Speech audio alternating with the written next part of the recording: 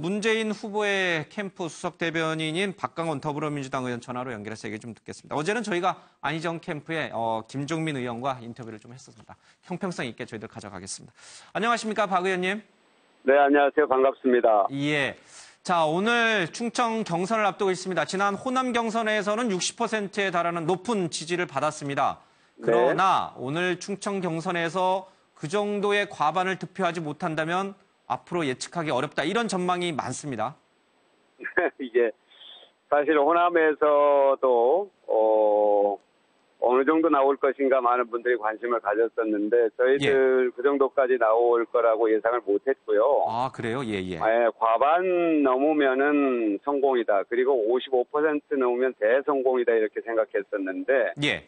호남에서 60을 넘겼거든요. 저는 그것이 호남의 국민들께서 문재인이 가장 정권 교체를 확실히 할 후보다. 예. 그리고 국민들의 열망을 받들어서 새로운 대한민국을 건설할 가장 적임자다. 예. 가장 잘할 사람이다. 이런 어떤 평가를 내리시고 예. 문재인 후보 쪽으로 힘을 몰아주셨다고 이렇게 생각한다. 그 결과로 본다는 이런 말씀을 드리고요. 예. 마찬가지로 충남 조금 전에 앵커께서 말씀하셨습니다만 안희정 후보와는 특별한 정치적 연고가 있는 곳입니다. 예.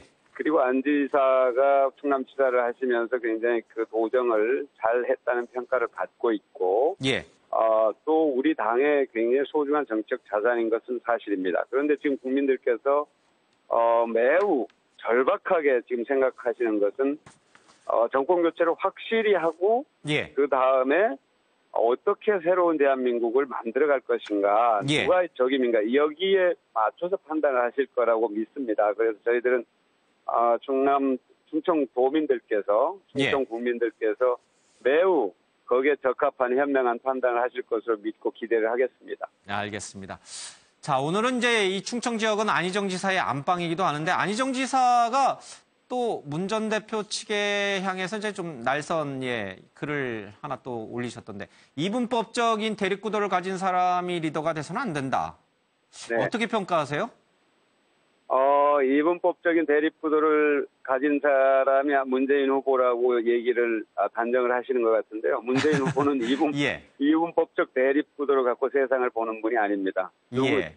기억하시겠지만 노무현 대통령께서 돌아가셨을 때 맞상주 노릇을 할 때 그때 모습을 보십시오. 그분은 예. 세상을 절대 이분법적으로 보지 않고요.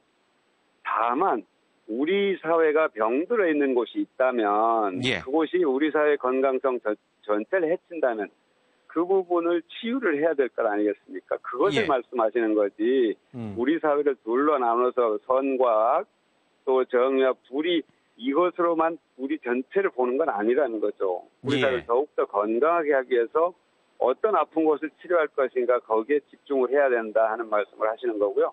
그런 점에서 저는 안 지사님, 안 후보님도 예. 그것을 충분히 이해하실 거고 또 아마 경선이 끝나고 나면 한 팀으로서 예. 정권 교체를 위해서 힘을 모을 것으로 저는 알고 있습니다. 예.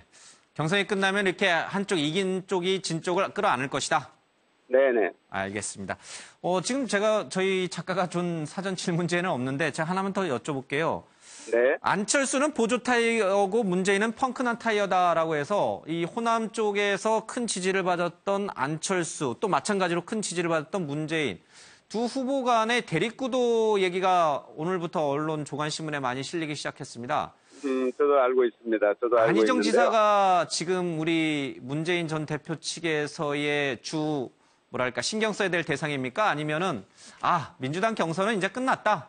다음 본선에서 상대해야 될 안철수 쪽을 좀 견제해야겠다. 이쪽이 더 이제 주가 되는 겁니까? 저는 그거는 이제 이렇게 봅니다. 국민들이 예. 지금 어마어마한 거대한 흐름을 형성했습니다. 대한민국 지금 역사적 큰 역사적 전환기에 있는데요. 무슨 예. 말씀이냐면 국민들이 위대한 결단이지만 굉장히 지독한 결심을 하신 거예요. 현직 대통령을 파면한다는. 예.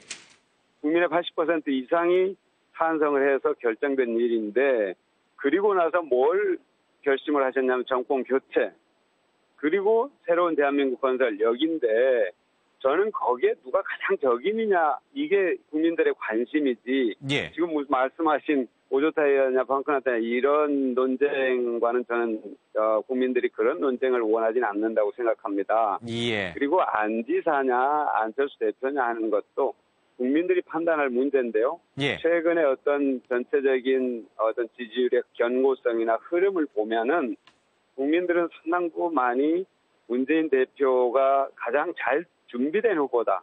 가장 예. 잘할 사람이라는 생각은 하고 계시는 건 틀림없습니다. 음. 현재 당내 경선이 진행되고 있기 때문에 예. 저희들이 겸손하게 끝까지 최선을 다하는 자세를 갖는 거지. 아 이제 끝났다 뭐 이런 생각을 하는 거는 국민들에 대한 예의가 아니라고 생각합니다. 예.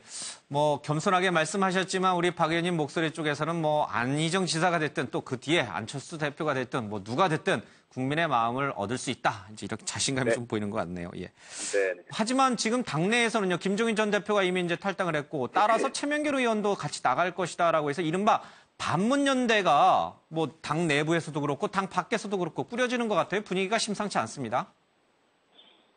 어, 최명길 의원 문제는 굉장히 안타까운 일이고요. 예. 어, 김종인 대표님도 제가 어, 지난 총선 이후 대변인으로서 어, 잠시 모셨었는데 매우 훌륭한 분입니다. 예. 김종인 대표님은 그동안의 말을 이렇게 다시 종합해 보면 어, 더 이상 킹메이커는 하지 않겠다. 그리고 지금 나와 있는 사람들 중에 대통령 감이 잘 보이지 않는다. 이런 취지의 말씀을 하신 적이 있거든요. 예. 본인께서 국정을 해보겠다는 그런 열망이 매우 강하신 것 같아요. 지금 생각해 보면. 예.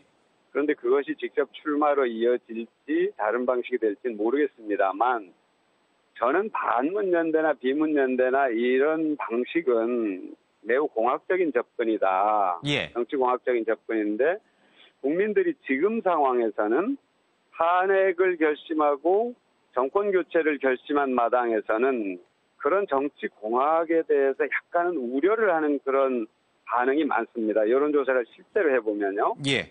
그런 점에서 어, 과연 이것이 어, 정권 교체냐, 정권 연장이냐 예. 이, 이, 이 기준에서 어떻게 비칠 것인가 국민들이 저는 볼 거라고 보거든요. 예. 그런 점에서 보면은 어, 어떨까 매우 그 부분에 있어서는 저는 상당히 좀 어, 이렇게 뭐라고 할까 회의적인 편입니다. 예. 알겠습니다. 어, 지금 이제 말씀 조금만 더 깊게 들어가면은 사실 이 김종인 전 대표가 이끄는 이런 반문연대뿐만 아니라 네, 뭐 다른 정당이라든지 자유한국당 쪽까지도 아우르는 이른바 박지원 지금 국민의당 대표가 얘기한 이른바 샐러드 연정론이요. 네네, 무조건 방, 그 문재인은 안 된다. 그렇기 때문에 우리는 이념과 정체성이 다르지만 우리 좀 같이 손을 잡자. 그래서 샐러드 연정을 좀 해보자. 입맛에 맞는 것만 이렇게 연정하면 되지 않느냐. 이 논리는 네네. 어떻습니까? 어, 그건 저는 말로서는 어, 가능한데요. 예. 현실적으로 매우 어려운 부분이 있다고 봅니다. 예. 뭐냐면 지금 이 국가적으로 불행한 일이잖아요. 현직 대통령을 탄핵했다는 예. 것은 그런 탄핵 사태를 초래하는데 책임이 있는 정당이 있습니다. 사람이 있고. 근데 그분들이 다시 어떤 형태로든지 모여서 정권을 다시 잡겠다. 예. 그럼 저는 정권 교체가 아니라 정권 연장이죠. 음. 탄핵 찬성이나 탄핵 반대가 되는 모양이 되는 거고요. 예. 시대 정신과 맞지 않아서 국민들이 동의하기 매우 어려울 것입니다. 그러니까 이론적으로는 아 그게 서로 예. 정체성을 지키면서 해보자. 정체성이 그런 연대가 이루어지는 순간 정체성은 저는 훼손된다고 생각합니다. 알겠습니다. 예. 오늘 좀 시간 관계상 여기서 마치겠습니다. 박광원 의원님 오늘 말씀 고맙습니다. 감사합니다. 예. 지금 문재인 후보 캠프의 수석 대변인 박광원 의원의 얘기를 좀 들었습니다.